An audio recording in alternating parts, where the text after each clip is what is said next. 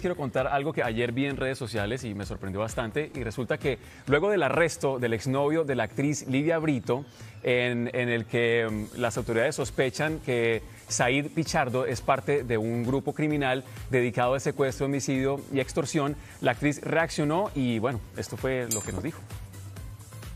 Muy buenas tardes. Eh, quería comentarles que como todos ustedes saben, yo tuve una relación hace más de seis años con esta persona.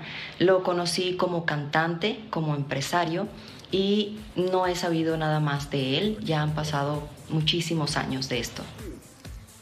Yo creo que ahí Lidia se está como adelantando un poco a los hechos, además que siempre que pasa algo como que la relacionan, la llaman, le preguntan, muchas veces son ya relaciones que uno terminó y quedó en el pasado y te siguen como Sí. vinculando y más este tema que es más como legal, algo tan Claro, complicado. Entonces se adelantó a los hechos, habló de eso, también lo suavizó con el tema de su embarazo, entonces bueno, esperemos que todo- Además de que ella ya tiene hasta otro galán que le pidió hasta van a matrimonio tener, van a tener en bebé. Venecia, o sea, sacando el tema, ya, el tema, pero el bueno. tema. Ya lo pasado, pasado.